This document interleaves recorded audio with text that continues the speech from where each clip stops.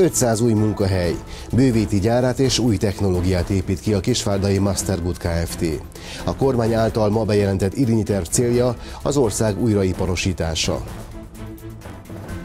Egy év haladék. Március 15-e helyett 2017 tavaszáig kell 3 millió forintra emelni a törstőkét a korlátott felelősségű társaságoknál. 600 ezer fiatalt vizsgáltak, a diákok negyede túlsúlyos vagy elhízott, és aggasztó az állóképességi szintjük is. Ez derült ki a Netfit felméréséből.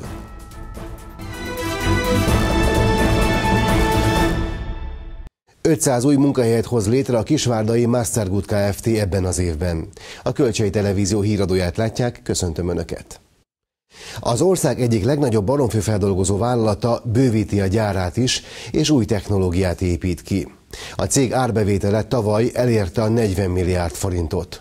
A fejlesztés egybevág a kormány most induló irinyi tervével.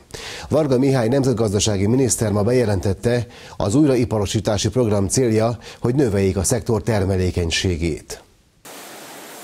Modern gépekkel dolgozzák fel a baromfi húst a Mastergood Kft. kisvárdai gyárában. Vannak azonban olyan munkafolyamatok, amelyeket kézi erővel végeznek el. A cég tavaly novemberben 150 fővel bővítette létszámát, és átállt két műszakos munkarendre, mert hetente már 730 ezer csirkét vágnak le. Idén újabb fejlesztésben gondolkodnak. Egy nagyon nagy beruházásba kezdtünk itt Kisvárdán. 9 milliárd forint összegű fejlesztésbe vágtunk bele, úgy is lehetne mondani, hogy szinte kicseréljük az egész üzemet kívülről, belülről, több mint 13 ezer nézetméter új épület, csarnok, technológiai helységek épülnek, ezekben korszerűsödik és új vonalak kerülnek beépítésre, tehát ennek az egész fejlesztésnek nem csak egy korszerűsítés, hanem egy kapacitásbővítés is a célja. Ezzel együtt 500 fővel bővítik a létszámot is. Jövőre elérhetik, hogy hetente 1 millió csirkét dolgoznak fel. A fejlesztés egybevág a most induló irinyi tervel. Varga Mihály miniszter azt mondta, hogy a magyar gazdaság újraiparosítása a céljuk. Segít abban, hogy új munkahelyek jöjjenek létre, támogatja azokat a hazai vállalatokat, amelyek már verseny közepette méretik meg magukat, tehát támogatjuk azt, hogy verseny és exportképesség növekedjen, és azt is célul tűztük ki, hogy a válság ellenálló képessége, tehát a válság állósága a magyar gazdaságnak növekedjen. Jelenleg az ipari termelés a bruttó hazai össztermék 24%-át adja. A kormány azt tervezi, hogy ezt az arányt az irinyi terv segítségével 2020-ra 30%-ra emeli. A KFT-k és a civil szervezetek is egy év haladékot kaptak arra, hogy megfeleljenek az új polgári törvénykönyv rendelkezéseinek. Eredetileg idén március 15-én járt volna el a határidő, azonban a módosítást követően a KFT-knek legkésőbb 2017 tavaszáig kell 3 millió forintra emelniük törstőkéjüket. Az országgyűlés 2013-ban alkotta meg az új polgári törvénykönyvet, ami 2014 márciusában lépett hatályba. A változások között szerepelt, hogy a PTK-ra való áttérés mellett az eredetileg 500 ezer forinttal alapított KFT törstőkéjét 3 millió forintra kell emelni 2016. március 15-éig. Elfogadták azt a törvénymódosítást, amely ezt a határidőt kitolta további egy évvel, tehát 2017. március 15-ére kell a KFT-knek felemelniük a törstőkéjüket az eredetileg kötelező 500 ezer forintról 3 millió forintra, Vélhetően az a törvényalkotó szándéka ezzel a további haladékkal, hogy azoknak a cégeknek nyújtson segítséget, amelyeknél nem áll rendelkezésre ez a mennyiségű tőke, amelyen meg tudják valósítani a tőkeemelést. A Nyíregyházi törvényszék adatai alapján a megyében működő vállalkozások közül 3817 KFT kapott haladékot arra, hogy előteremtse az új PTK-ban előírt tőke hiányzó részét. A megyében 15.600 körüli az összes élő cég, ebből 10.000 körüli a KFT-k száma. Ezen KFT közül 3800 az, akinek a tőkéje nem felel meg a jelenlegi, illetőleg a PTK-ban szabályozott 3 millió forintnak, úgyhogy ez, az, ez a szám, illetőleg ezek a KFT-k azok, amelyek megkapták ezt a haladékot, további egy év lehetőségük van a tőke megemelésére. A parlament döntése értelmében a korlátolt felelősségű társaságokat terhelő kötelező tőkeemelés bejelentése illetékmentes, csak abban az esetben kell 15 ezer forintos díjat fizetni, ha a cég egyéb adatváltozást is bejelent. A diákok negyede túlsúlyos vagy elhízott, és aggasztó az állóképességi szintjük is. Ez derült ki a Netfit 2014-2015-ös tanévre vonatkozó felméréséből, amelynek eredményeit ma hozta nyilvánosságra a Magyar Diák Sport Szövetség. A Nemzeti Egységes Fitségi Teszt 3000 iskola bevonásával 623 ezer diákon végzett felmérést. Új típusú iskolai fizikai állapot felmérést vezetett be a kormány 2014-ben, aminek célja, hogy felhívja a diákok figyelmét a testmozgás és az egészséges életmód fontosságára. A Netflix segítségével kilenc mérést alkalmazva ellenőrzik az általános és középiskolások egészségügyi állapotát.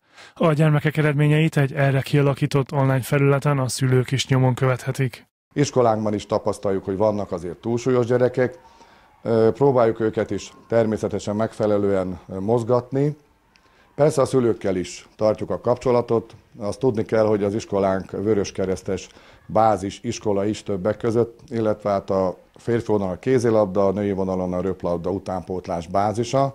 Ez azt hiszem látszik a mögöttem lévő kupánkból, és rengeteg tornát nyertek a gyerekek és azért ez segít abban, hogy a úgynevezett túlsúlyos gyerekek is próbáljanak közel kerülni a sporthoz, de ha nem, akkor vannak olyan rendezvényeink, ahol próbáljuk őket mozgatni, illetve a város által rendezett egyéb ilyen amatőr sporttalálkozó, ezeken részt vesznek a gyerekek. Tehát a szülőkkel is tartjuk a kapcsolatot, és a beszélgetések során esetleg úgynevezett táplálkozási tanácsot, ezt nagyon idézőjelben mondom, próbáljuk a szülőket is serkenteni arra, hogy mozgassák a gyereket, hiszen erre szükség van. A gyermekek három kategóriába kerülhetnek a Netfit felmérést követően. Ezek az egészséges, a fejlesztésre szoruló vagy a fokozottan fejlesztésre szoruló fitségi zónák. A túlsúly és az elhízás leküzdésében sokat segíthet a megfelelő táplálkozás, tartják a szakemberek. A menzareform keretében 2014 óta egészségesebb ételeket kapnak az általános és középiskolás diákok. 2014 óta történt a változás, vezették be a menzareformot, és azóta a, a show, a cukor, a, a friss zöldségek naponta többször adni, teljes kiörésű péksüteményeket adunk, és új ételeket kínálunk a gyerekeknek az étkedésbe. Ez folyamatosan minden étkedésnél valamit, például a rizsnél adunk egy barna rizset pótlásnak, a, a reggelénél teljes kiörülési péksüteményeket adunk, uzsannába csak rostkenyeret és, és zöldséget adunk hozzá, hogy rostkenyerrel adjuk a uzsannát, aztán aztán a saját termelésű, mm, a munkáltatónk saját termelésű zöldségféléket, saját mini péksibe készített teljes kiörülésű péksüteményeket adunk. A tornaórák keretében végzett Netfit felmérés egyéni kiértékelésénél javaslatot kapnak arra a diákok, hogyan javítható vagy tartható fenn az aktivitási és fitségi szintjük. Strasburgi és brüsszeli utazásért versengenek a túl az első XN elnevezésű verseny résztvevői. Ma Nyíregyházán, a megyeházán tartották a középiskolai vetélkedő regionális döntőjét. Nyolc négy tagú csapat mérte összetudását. A megmérettetés célja, hogy a fiatalok megismerjék a választások jelentőségét, valamint a hazai és Európai Uniós demokratikus intézményeket. Országosan 215 csapat, összesen 860 diák jelentkezett a Túl az első X-en című megmérettetésre, a regionális döntőkre pedig 69 csapat, 276 résztvevője jutott tovább. Itt a Nyíregyházi fordulón 8 csapat mérte összetudását. Már a múlt hónapokban is voltunk ilyen Európai Uniós versenyen, és úgy gondoltunk, hogy akkor a választási iroda által csinált versenyen is elindulunk. A csapatban van olyan, aki ilyen, ilyen téren szeretne majd tovább tanulni, a történelem vagy esetleg a politika útján. Szóval ezért is egy jó gyakorlás neki szerintem. Az előző fordulókban pedig főleg a szavazási rendszerekre kérdeztek rá, hogy Magyarországon, illetve külföldön milyen szavazási rendszerek vannak. Ezen a felvételen pedig már a debreceni diákok ismertetik kérdőívezésük eredményeit. Az is érdekes volt számunkra, hogy a fiatalok motivációs utaló érdekében szívesebben mennének el szavazni. A A nagyszabású középiskolai vetélkedőt tavaly az Európai Parlament tájékoztatási irodája, a Civitas Egyesület és a Nemzeti Választási Iroda indította útjára. A célja az, hogy középiskolás fiatalok számára minél mélyebben megismertesse a választás, a választással kapcsolatos információknak a fontosságát annak érdekében, hogy ők tudatos választóként lépessenek majd az urnák elé, hiszen hamarosan választójoggal fognak rendelkezni. A megmérettetésen a választás intézményét jól ismerő zsűritagok pontoztak, szerintük a verseny abban is segít, hogy jövőbeni első választóként tudatos magyar és európai polgárrá váljanak a fiatalok. Azt hiszem, hogy maga a helyszín az tényleg szimbolikus hiszen egyrészt ugye a megye egyik legfontosabb választási szereplője, úgymond a megyei önkormányzat, akármilyen választásról beszélünk, és ebből a szempontból nagyon örülünk annak, hogy erre a helyszínre esett a választás. Másodszorban pedig azt hiszem, hogy a diákok számára is nagyon fontos az, hogy ilyen versenyeken részt tudjanak venni, legyenek lehetőségeik arra, hogy ilyen és ehhez hasonló megmérettetéseken megmutassák magukat, mert a választás fontossága, a demokratikus intézményeknek a, a, a szerepe azt hiszem, hogy kiemelt itt Magyarországon is. Az országos döntőben a regionális fordulókból továbbjutó összesen 14 legjobb csapat méri össze majd tudását és száll versenybe az értékes nyereményekért. A legjobb csapat tagjai Strasbourgba vihetnek önmagukon kívül még 20 diákot és két kísérő tanárt. Az Euroszkóla játék őszi programjára az ezüstérmes csapat pedig utazást nyer Brüsszelbe. Jó hő és hangszigetelő a szalmaház, mégis kevesen alkalmazzák ezt a technológiát, amelyről hamarosan szólunk. Előtte nézzük a híradó további témáit. Európa bajnokként ért haza a Győri kontinens fiadalról Agárdi Vilmos, a Nyíregyházi Polgári Lövész Egyesület versenyzője. A Krúdi Gyula Gimnázium 17 éves diákja a juniorok mezőnyében egy új versenyszám, a vegyes párosok légpisztolyos küzdelme után a Győri Major Veronika társaságában állhatott fel a dobogó legfelső fokára. Hét csapat részvételével rendezték meg Nyíregyházán a csörgőlabda magyar bajnokság harmadik fordulóját. A győzelmet a tatabányai csapat szerezte meg, a rendező Fehérbot ese négy verességgel zárta a tornát.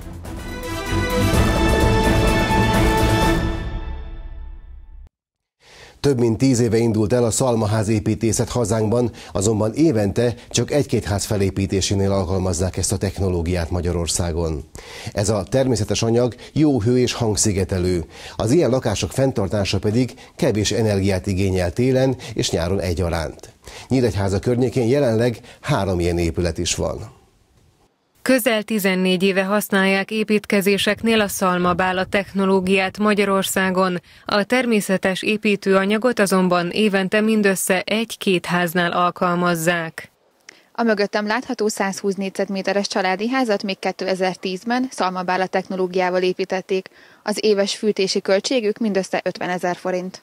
Közel 900 szalmabálából egy év alatt készült el ez az ingatlan. Itt a szalmázás mindössze két hét volt, a vakolás az, ami több időt igényelt. Kívülről nem látszik, hogy ez egy, ez egy szalmaház, esetleg a sarkokon látszik, hogy le vannak kerekítve, vagy a nyílászáróknál. A kivitelezésnél uh, eléggé uh, nagy volt a különbség. Ugye, ugye itt egy faszerkezetről van szó, ami először elkészül, tehát elkészülnek a falak, elkészül a tető, és utána töltjük ezt ki szalmabálával. Tehát a kivitelezésnél azért elég látványos volt, amikor ezer darab szalmabála itt volt az udvaron, és azt építettük be ebbe a faszerkezetbe.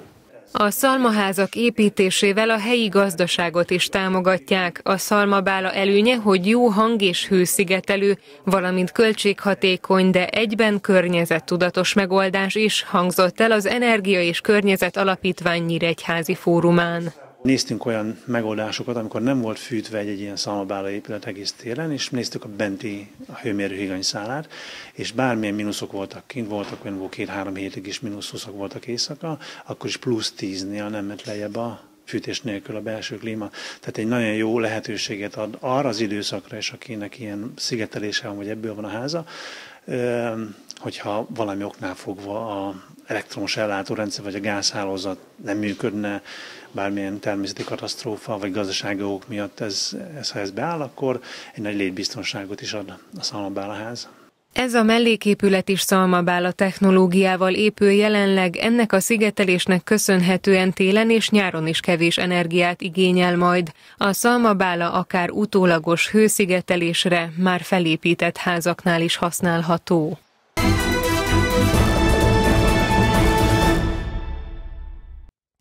Európa bajnokként ért haza a győri kontinens viadalról Agárdi Vilmos, a Nyíregyházi Polgári Lövész Egyesület versenyzője. A Krúdi Gyula Gimnázium 17 éves diákja a juniorok mezőnyében egy új versenyszám, a vegyes párosok légpisztolyos közelme után a Győri Major Veronika társaságában állhatott fel a dobogó legfelső fokára. 47 ország közel 600 versenyzője lépett lőállásba a Győri Európa-bajnokságon, ahol a felnőttek olimpiai kvótát is szerezhettek. A nyíregyházi színeket, amíg ifjúsági korú, a Gárdi Vilmos képviselte a juniorok mezőnyében. Veres Andrea tanítványa a légpisztoly 60 lövéses számában még küzdött az első világversenyükön szereplők lámpalázával, így a mezőny hátsó régiójában végzett. Egészen más eredménnyel zárult számára egy új szám, a vegyes páros viadala. Itt speciális a lebonyolítás, a döntőbe jutott 8 páros 4-4 párra osztják, aztán kieséses rendszer végén a két legjobb duó vívja a finálét. A Gárdi a hazai szövetség döntése alapján a legjobb juniorkorú női versenyzővel, a Győri Major Veronikával alkotott egy párt. A fináléban az ifjúsági olimpiai bajnokot és világbajnokot felvonultató lengyel duó ellen hátrányból egyenlítve az utolsó jogglövésekkel szerezte meg az aranyérmet a magyar páros. Az elődöntő vége utolsó lövéseinél kezdtem érezni, hogy, hogy nem vagyunk, ezt meg is nyerhetjük akár. Előtte, igazából a döntő előtt nagyon izgultam, de ott, ott döntöttük el, hogy akkor, akkor mindent beleadunk, és tényleg kihozzuk a legjobbat. Az újdonsült Európa-bajnok edzője szerint a magyar páros nyugodtságának és a hazai környezet által biztosított hangulatnak köszönhető az aranyérem. Én úgy gondolom, hogy nagyon higgadtak voltak, nagyon rákészültünk erre a versenyszámra, és próbáltuk tényleg a maximumot kihozni belőlük. És amikor a gyerekekkel utána beszélgettem, akkor mondták, hogy egy óriási nagy dopingot adott nekik, hogy magyar közönség előtt lőhettek, és hát természetesen mindenki nekik szurkolt. Ez egy óriási nagy megtiszteltetés számunkra. Én úgy gondolom, hogy nagyon-nagyon sok gyereket fog összönözni arra, hogy dolgozzon, hogy kitartson, és hogy a lövésportot kipróbálja magát. Agádi Vilmos még három évig versenyezhet a juniorok mezőnyében. A lövészettel mindössze három évvel ezelőtt megismerkedő fiatalember idén szeretne kijutni a tűzfegyveres Európa-bajnokságra, valamint a Pilzeni olimpiai reménységek versenyére. A távlati célok között pedig már megjelent a 2020-as Tokiói olimpiai részvétel kiharcolása is. Hét csapat részvételével rendezték meg Nyíregyházán a csörgőlabda magyar bajnokság harmadik fordulóját. A győzelmet a tatabányai csapat szerezte meg. A rendező Fehérbot Ese négy verességgel zárta a tornát. A csörgőlabdát 2001 óta játszák Nyíregyházán a Fehérbos Sportegyesület szervezésében. Az elmúlt években Nyíregyháza mellett egri és budapesti csapatok szerepeltek a bajnokságban, mostanra viszont megduplázódott a részvevő együttesek száma. Az első alkalommal megrendezett Nyíregyházi bajnoki fordulóban az említettek mellett Szombathelyről, Pécsről, Sárospatakról és Tatabányáról is érkeztek részvevők. Mi nyíregyháziak, hogy a hátsó mezőnyben vagyunk, de úgy látjuk, hogy a küzdelemnek sokkal nagyobb jelentősége van, hiszen azt látjuk, hogy amikor látássérültek sportolnak, arra mindenki odafigyel. És egyrészt a mi örömünk is a sportolás, másrészt pedig azok számára is példát adunk, akik egészségesek, hogy lám milyen jelentősége van a rendszeres testedzésnek, a sportolásnak vagy a küzdelemnek. Én azt gondolom, hogy az játék öröme, ami, ami, ami a mi dicsőségünk ebből a szempontból, és hát most egyelőre meg kell küzdenünk a mezőny második harmadában a helyezéseket tekintve. A Magyar Kézilabda Szövetség keretein belül működő csörgőlabda szakák vezetőinek célja az, hogy a vakok és gyengénlátók közül minél többen kipróbálják a sportágat. Csörgőlabda sportág a Kézilabda Szövetség berkein belül működő sportág, tehát a Magyar Paralimpiai Bizottság integrálta a Kézilabda Szövetséghez ezt a sportágat. Ez kifejezetten látássérült emberek részére kitalált és feltalált sport. Ezt a második világháború után megvakult katonák részére találták ki, rehabilitációs célból, és abból nőtte ki magát egy rehabilitációs sportból paralimpiai sportággá. A paralimpián ez az egyedüli olyan sportág, amely nem adaptált, tehát nem egy meglévő sportnak az átdolgozása, hanem ez kifejezetten csak látássérült és vak sportolók játszhatják. Magyarországon a magyar bajnokságban öt csapat játszik az, e, a felsőházban, öt csapat az alsóházban. Körülbelül olyan 120-140 fő az, aki aktívan sportol és regisztrálva van. Azon vagyunk, hogy ez minél nagyobb szám legyen, és hogy minél több látássérült embert be tudjunk vonni ebbe a sportba. A Nyíregyházi tornát a Tatabányai Együttes nyerte, míg a hazaiak négy vereséggel zárták a rendezvényt. Elbúcsúzott a Magyar Kupától a Nyíregyháza Spartakusz. A negyeddöntő visszavágóján Mátyus János együttese 5 0 vereséget szenvedett Debrecenben. Így az NB1-es hajdúságiak 7-1-es összesítése jutottak a legjobb négy közé. Híradónk végén nézzük a legfontosabb híreket még egyszer röviden.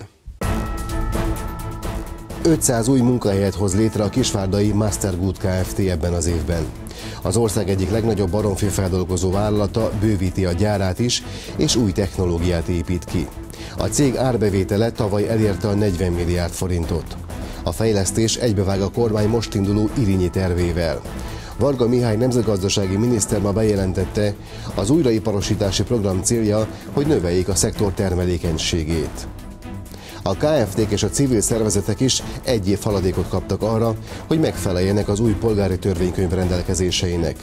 Eredetileg idén március 15-én járt volna le a határidő, azonban a módosítást követően a KFT-knek legkésőbb 2017 tavaszáig kell 3 millió forintra emelniük törstőkéjüket. A diákok negyede túlsúlyos vagy elhízott, és aggasztó az állóképességi szintjük is.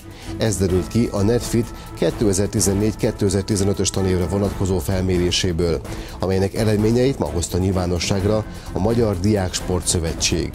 A Nemzeti Egységes Fitségi Teszt 3000 iskola bevonásával 623 ezer diákon végzett felmérést.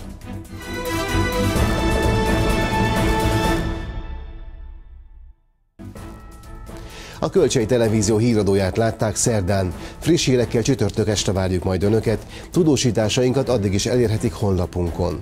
Én munkatársaim nevében is köszönöm szépen figyelmüket, viszontlátásra!